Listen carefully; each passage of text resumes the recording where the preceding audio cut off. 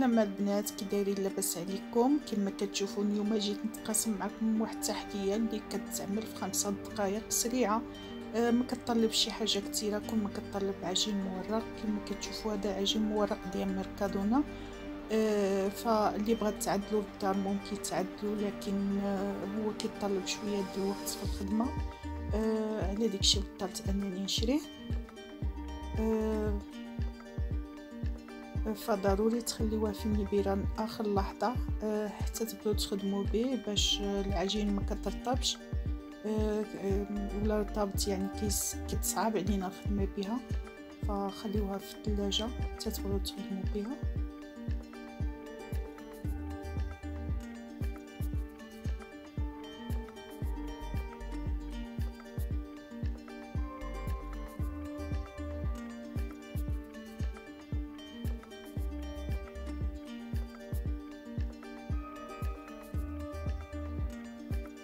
دابا غادي نشكلوها. آه غادي نعمل هنايا آه واحد الشكل مثلث في الوسط.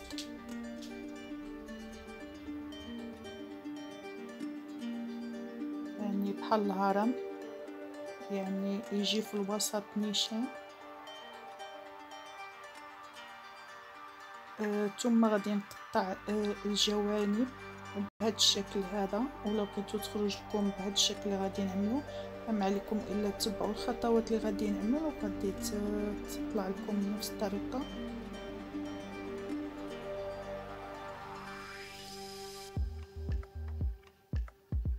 كنتخلصوا من هاد الأطراف لكن غادي نحتاجوهم من بعد. نخليهم على جنب مطلوقين باش نستعملوا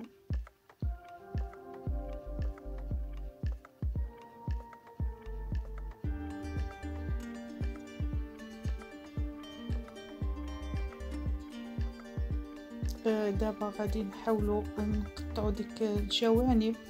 يعني كل خارج المثلث اللي رسمناه غادي نقطعوهم على شكل شرائط دقيقة كما كتشوفوا بهذه الطريقة هذه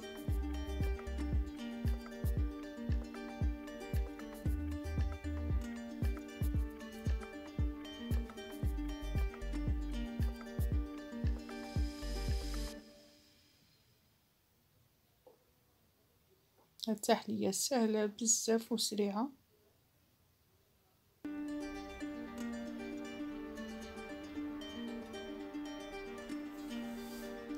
كذلك كنعملو نفس الشيء الناحية الثانية حتى نقطعو على شكل شرائط.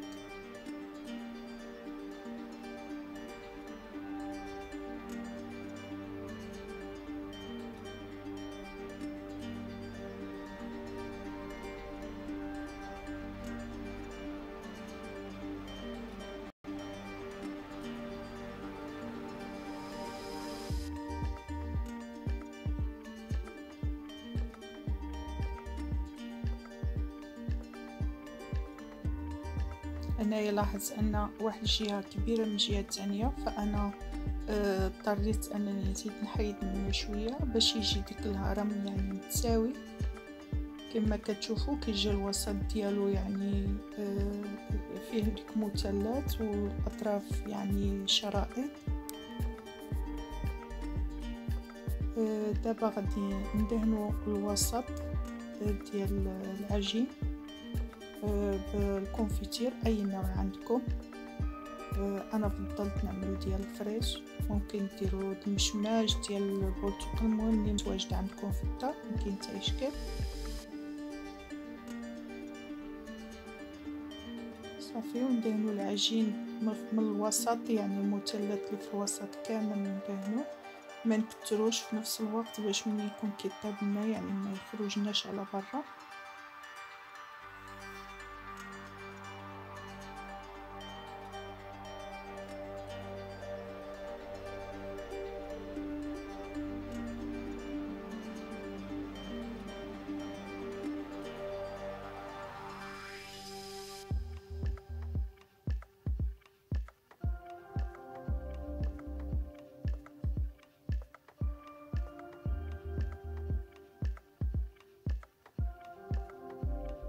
في بهالطريقة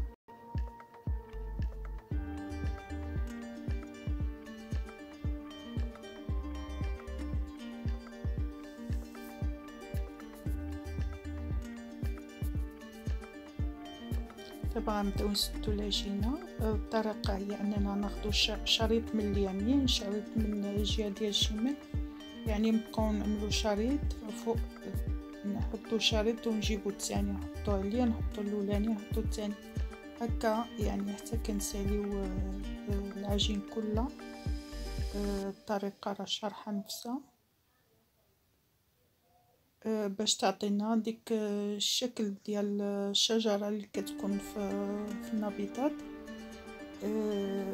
بالنسبة للشكل فلكم اختيار ممكن تعملوا اشكال أخرى تعملوا شكل دائري شكل شي رسمه هكا المهم كيف ما بغيتو تعملوا آه، فانا فقط بغيت نشارك معكم فكره بحكم يعني رأس السنة فبغيت نشارك معكم هذا الشكل خصوصا ان صديقات ديالي اسبانيات فانا كنحاول يعني عندي في القناه ديالي بعض الاسبانيات فكنحاول يعني حتى هما نعمل لهم شي حاجة اللي يعني يستافدوا منها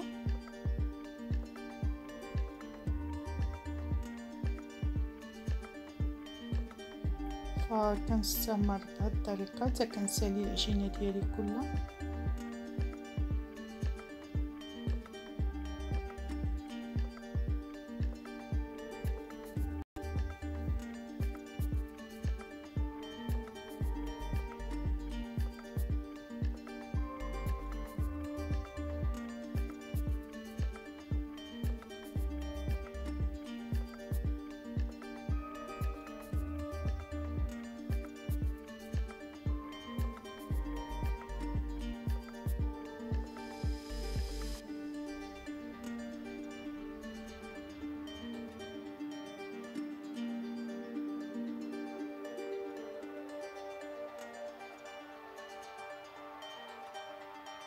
صافي كنغسلو الاخير آخر وحدين كنحاولوا نلصقوهم شوية.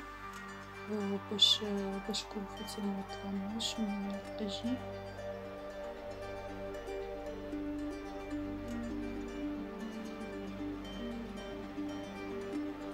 هكا كتكون عطاتنا ديك الشكل ديال الشجرة.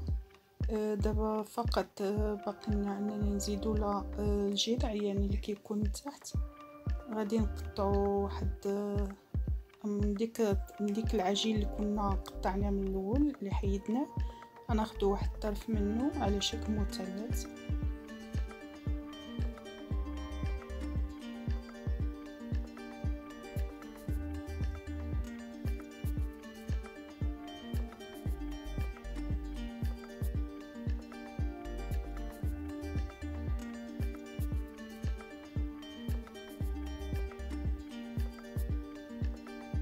بهاد الطريقة هادي ولصقوهم العجين.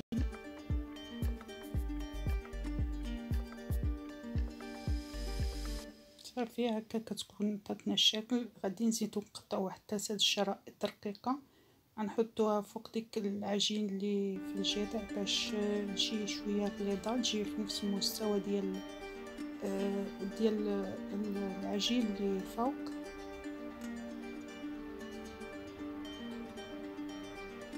هي أفكار كان يعني كنتشاركها معكم الفكرة جات لي راسي قلت لي مالا ما نديرهاش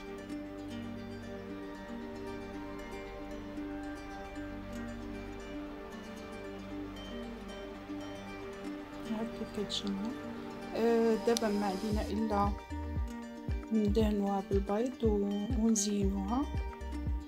ومن بعد ندخلوها الفران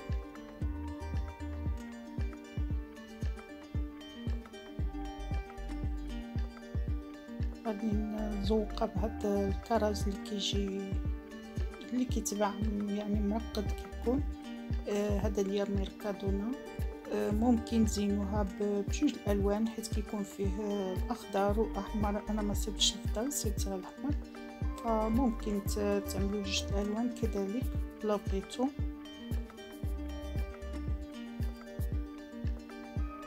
كتزينوها بطريقة عشوائية.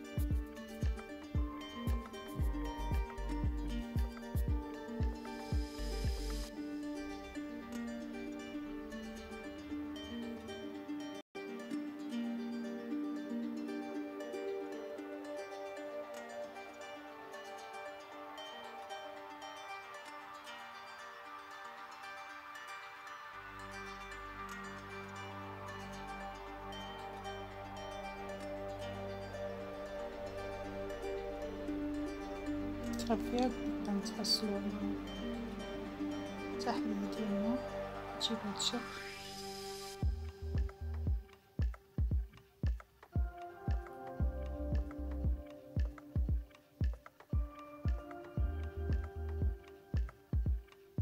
أما الآن غادي ناخذ واحد البيضة اللي غادي نخفقها. آه، ممكن تزيدوا لها واحد شوية نسكافيه باش تعطيكم اللون أو بلاش كيف ما كيف ما حبيتو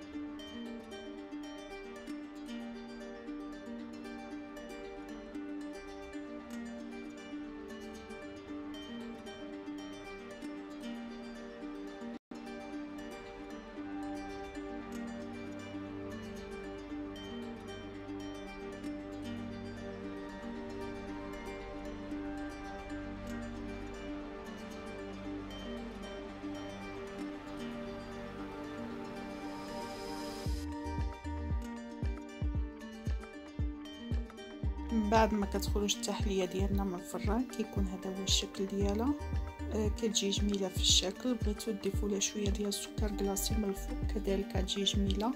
مع التحلية الجميلة البسيطة كنودعكم كنقول لكم مع السلامة وشكرا للتواجد ديالكم والمحبة ديالكم الدائمة والتفاعل ديالكم مع آه القناة ديالي ومع السلامة.